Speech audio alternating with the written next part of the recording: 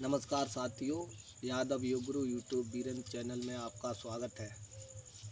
हम आपके लिए आज एक नई दवा लेकर के आए हैं। जिसका नाम है चंदन, या चंदनिया दो नाम से इसको पकड़ा जाता है।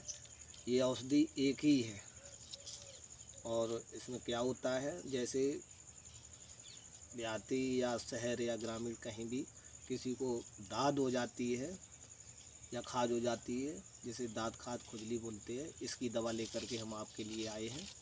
तो देखिए, ये औषधि है और ये पत्ते देखो, तोड़ने के लिए मैं जा रहा हूँ।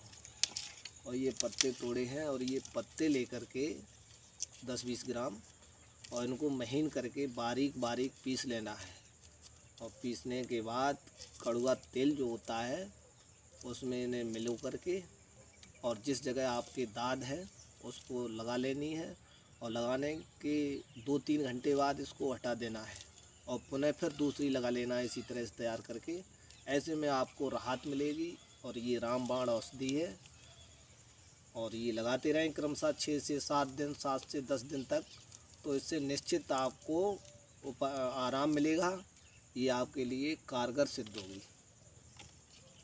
आपका साथी विक्रांत यादव, यदि मेरा वीडियो आपके लिए अच्छा लगा हो तो वीडियो को लाइक करें। और सब्सक्राइब करना ना भूलें। धन्यवाद।